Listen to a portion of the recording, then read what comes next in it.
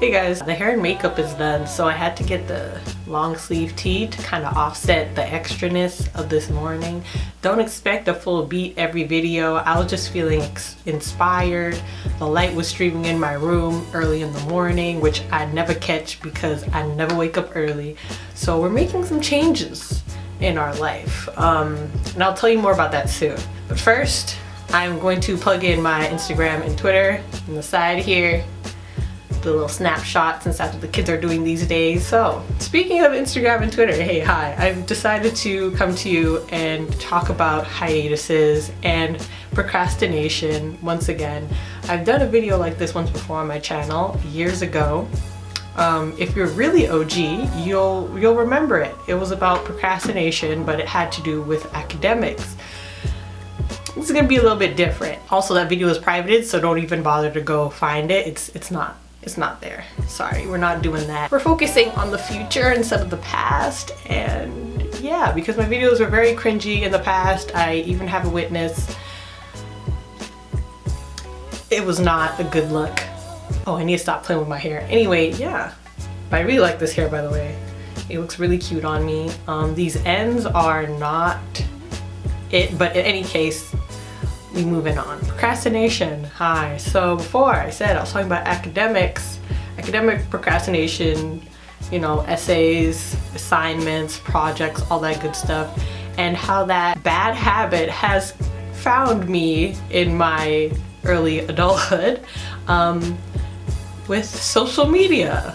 Huh, what's the correlation, you may ask? Um, yeah. So I consider myself to be a creative. I get on here, I make videos, I like making things, I edit them, I upload them. I draw sometimes, or at least I used to, a lot. Loved art, I loved music. It was it was good time in my adolescence, okay?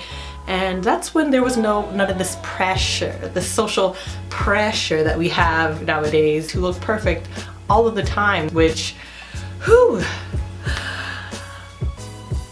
to me. It really got to me. Um, I think I posted the least amount on social media, Instagram, Twitter, especially like the least last year. And obviously we're in a pandemic right now, so there's nowhere I could really go to take pictures because I'm usually on location, onlokation.com. That's my blog. I'll link that below.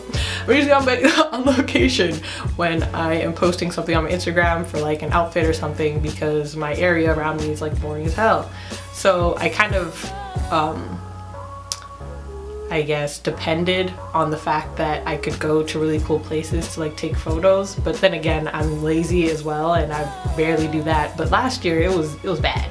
I, with, I feel like a lot of people too just kind of abandoned Instagram last year. I feel like I was on Twitter more so than I was there on Instagram. Obviously because the changes Instagram has done was its downfall. And I will say was because it's in its downfall right now. This happened around the time I got like 1k on Instagram, which was like late last year. Not last last year. 2020 don't count. When I say last year, just pretend I'm talking about 2019 because we it was on pause. We're not doing anything.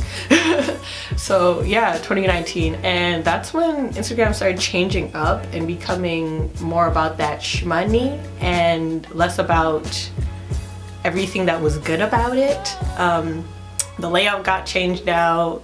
We have reels now which is competing with tiktok. They have a shopping app which I never use and I refuse to use and again like most people I barely see any of the people I actually know that I follow on there. It's usually only the influencers and the celebrities that are coming up to the top of my feed and it was not doing it for me. Like I love seeing creatives do like creative stuff. Like it can obviously hype me up to create more on my own and like obviously inspire me but that was the problem. It wasn't doing that, it was doing the opposite. It was making me feel like my art wasn't good enough. It was making me feel like I wasn't pretty enough. And it really just made me feel like I, there was no point to me doing any sort of art because I just saw people who are doing it much better than me and a lot more successful at it in real time And being in a pandemic, you lost your plans for that year.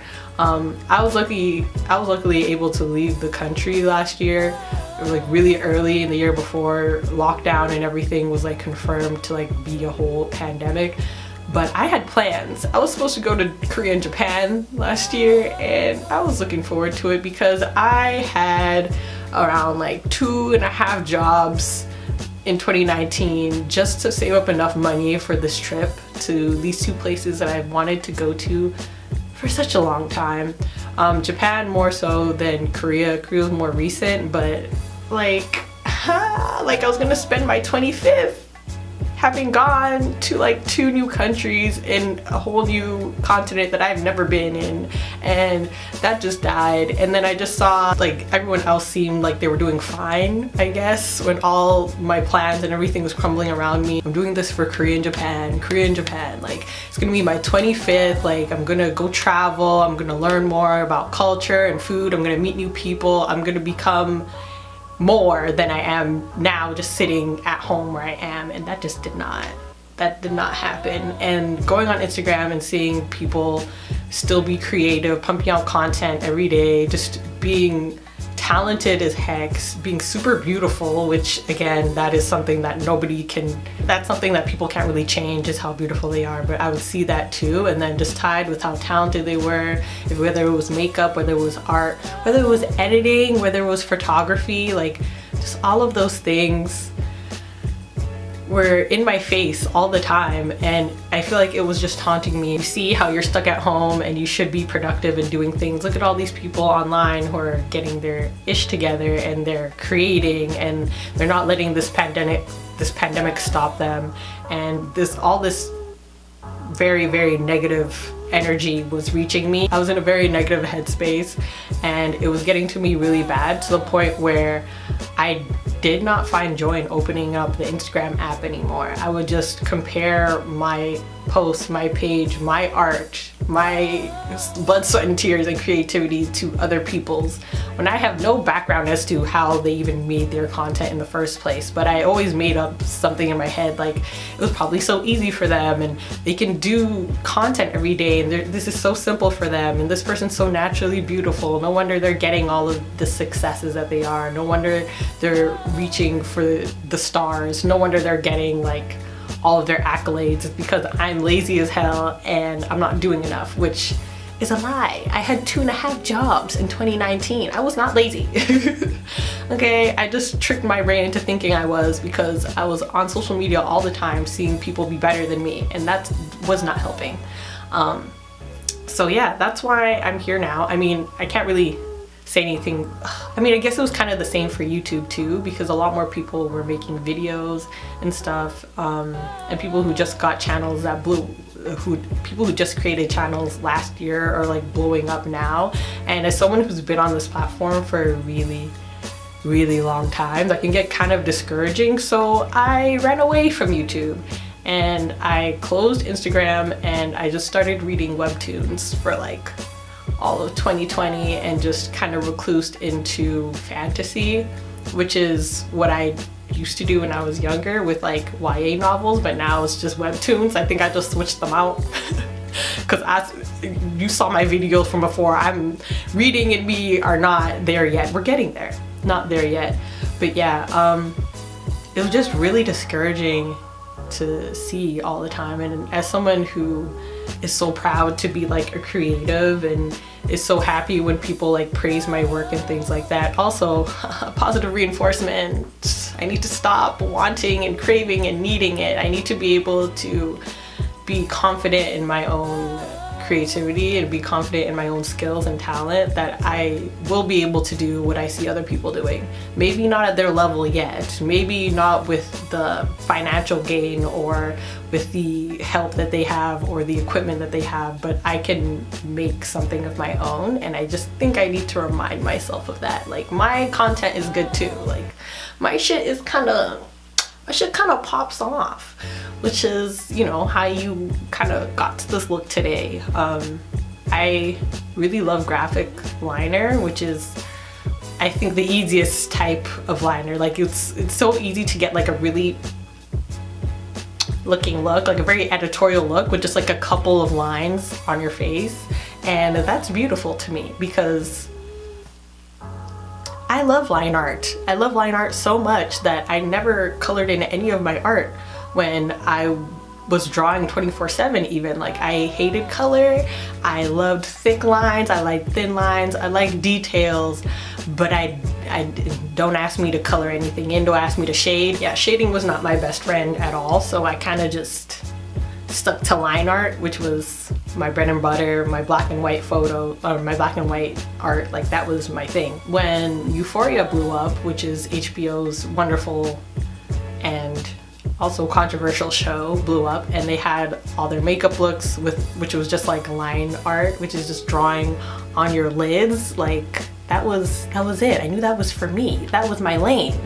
Um, so yeah I was really scared to step in it because when the trends blew up I saw on the top of my Instagram feed all of the creators that I follow and all of the beautiful, wonderful people, talented as heck that I know at art, were creating that same graphic liner makeup that I wanted to do and I got discouraged again which doesn't make sense. Like I'm acting like I've never done art before, I've never picked up a brush, like that's a lie. I've always said that I wanted to get into makeup more when I started transitioning out of um, sketching and drawing and doing line art a lot more, makeup was something that I wanted to kind of transition that into so I wouldn't lose that love of artistry and I psyched myself out. Again, it really be your own self, like, the fuck? I mean, look at this. Like, obviously I can do it. Like, I don't, it's really hard to get out of that mind space once you've gotten into it. It's like you're addicted to telling yourself no. It's like you're addicted to telling yourself you can't do this so that, you know, you can be kind of content in the fact that, hey, there will be no pressure on me. I won't have people judging me all the time. Again, that's the second thing with Instagram. I had to put it down. I would post where I feel like this is universal, but I would upload a photo and like turn off the app, put my phone on airplane mode, and throw my phone into the corner of my room and just hide. Like I did not want to see any comments. I didn't want to see how many likes I got. I still don't. I have the notifications turned off on my Instagram for that reason. Even though I couldn't see anyone else's anymore since Instagram made that change to not see anybody else's likes. It only works some of the time. Like sometimes I can see it and sometimes I don't. But again, good move on Instagram. Probably the only good move that they've done in recent years on that app, but yeah. Um, that was bad. I was getting anxious by posting my own content on my own page. Like, why? Like, it's, it's not like anyone's ever bullied me for anything that I put up on there. It's not like anyone has told me that my, my looks are bad or that my outfits are ugly. Like, it was all just in my head. Like, I didn't want to be compared to other people. Like, I did not want to be perceived at all for any type of scrutiny and it was just not doing well for my mental health because I need to create things in order to get serotonin in my brain.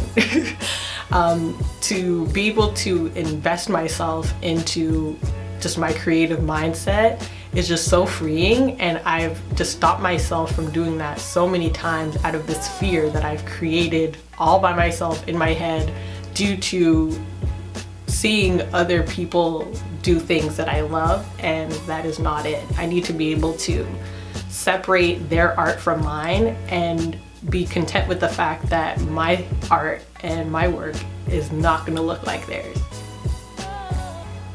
It was never something I was worried about when I was younger. When I made art, I just created it for myself. So I'm trying to bring that mindset back, you know? Um, and I feel like that was something I can learn from my past as well. That was like really positive and I don't know why I left that there. Capitalism uh, fucked up what was actually important to me in my life and told me that I had to hustle and make money off of any and all hobbies and creativity in order to be happy, which is not true at all. So yeah, um, screw that. I'm back. I'm better than ever. I'm gonna be doing makeup. I'm not sure if I'm gonna be doing looks on this channel. I'm probably just gonna use YouTube for more serious topics that I haven't covered and story times. I want to get back into story times as well because I, again, with the whole mindset, I just thought I became boring all of a sudden, which is also a lie. Um, so yeah, I'm gonna try to move away from makeup and fashion because I feel like I was using it as a crutch so I wouldn't have to actually engage and talk with anyone and share my opinions so that no one can tell me that I'm wrong. But now I don't care. Like I can't care about that and be on YouTube at the same time because then fashion and makeup on here will be something that I also hate doing and I'm not gonna do that to myself. So yeah, we're turning a new leaf this year, 2021. Um, we're still inside, it's still quarantine, but the mindset, the mindset has changed, okay? We may be inside now in the box, but my mind is outside the box, in the corner waiting to be free little birdie. So we're gonna do that. I'm gonna free my mind and the rest will follow. Yeah, more cooking videos because I've been cooking a lot more lately and exercising more, which I've been loving too. And I literally have barely cook and I haven't done exercise since high school. So yeah, we're getting back into the good old habits that I used to have and we're kind of blending it in with the the future self that I want to create for me and try to give myself some purpose so I don't feel like everything in my life is ruined just because I had to postpone two trips. I mean, I'll take them eventually. I'll get to Korea and Japan, but I need to be able to um, fulfill myself now or it won't really matter, to be honest. Um, but yeah that's me. Ooh, I haven't really touched too much on Twitter. Honestly, I'm on there more than I'm on Instagram. I feel like it's easier to post photos on Twitter and everything else on there just because you just type dumb shit and send it into the app like nothing matters. So yeah. Also, I might I might go back to Tumblr. Tumblr was a lot better than I gave it credit for. So we might go back there one day. I hope you guys like this little sit down chat with me. Uh, yeah, this will be a weekly event, so get ready, stay tuned, and I'll see you guys next time. Bye guys.